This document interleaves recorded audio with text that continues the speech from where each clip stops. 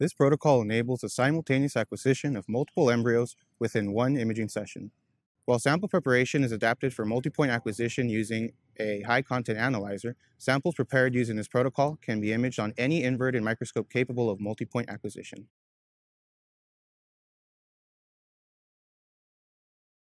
To begin, organize two rows of 15 to 20 embryos on a clean section of grape plate using an egg picker tool. Align the embryos on their ventral side, in the same orientation with respect to anterior and posterior ends. Adhere a spacer onto a cover slip and streak 10 microliters of heptane glue down the exposed cover slip glass inset. While the glue dries, use a razor blade to cut a rectangle around the two rows of embryos. Cut a second rectangle next to the first, and remove the second rectangle with the straight edge side of a stainless steel spatula. Carefully slide the straight edge of the spatula under the first rectangle and remove it.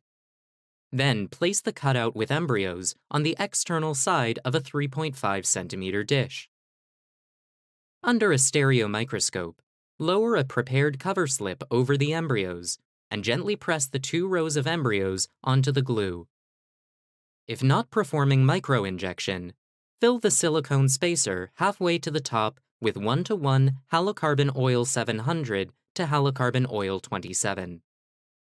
Line the bottom edges of a four-slide plate adapter with double-sided tape. This will prevent the slide from moving during imaging. Ensure not to place the tape in the path of the objective lens.